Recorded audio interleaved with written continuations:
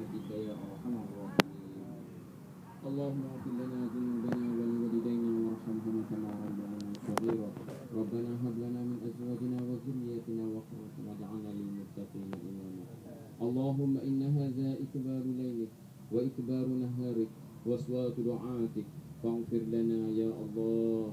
فاغفر لنا يا